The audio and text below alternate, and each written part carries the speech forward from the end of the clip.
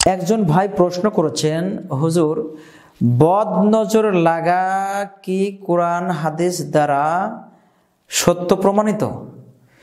জি ভাই, আপনি প্রশ্ন করার জন্য আপনাকে আমাদের পক্ষ থেকে ধন্যবাদ জানাচ্ছি, মোবারকবাদ জানাচ্ছি। বদ নজর লাগা কথাটি সত্য। বদনজর মানুষের উপরে লাগে, এই কথাটি হান্ড্রেড পারসেন্ট সত্য কথা। মানুষের চোখ মারাত্মক একটি জিনিস।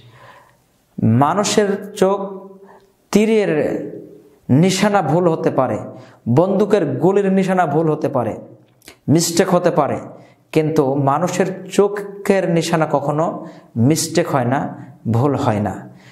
যা আমরা কোরআন এবং হাদিসের থেকে আপনার প্রশ্নের উত্তর দেওয়ার চেষ্টা করছি।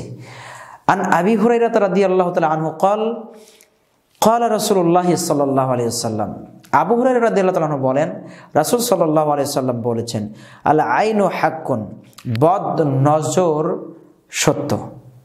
জি ভাই তাহলে সেই বুখারির এই হাদিস দ্বারা প্রমাণিত হলো, বদনজর লাগে মানুষের, এটা সত্য। দেখে নিতে পারেন সেই বুখারির দশম খণ্ডর দুইশো তেরো নম্বর হাদিসে।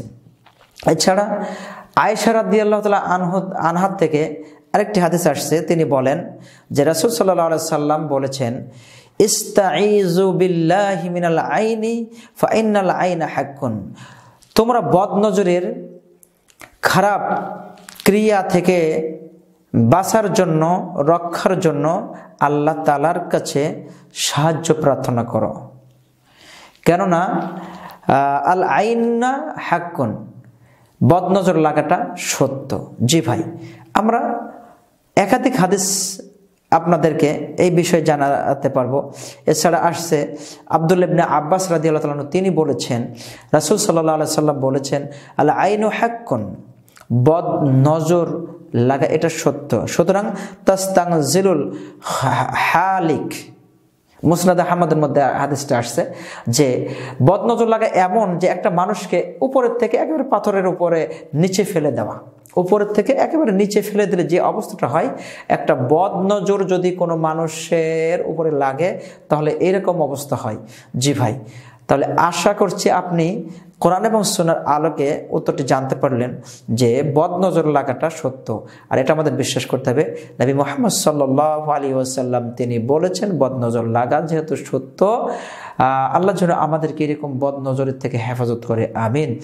এছাড়া আপনারা বদনজরের থেকে বাঁচার জন্য কি আমল করা যেতে পারে, আমরা সেই বিষয়ে আপনাদেরকে ইনশাল্লাহ যদি কেউ প্রশ্ন করে, আমরা জানানোর চেষ্টা করব ইনশাআল্লাহ।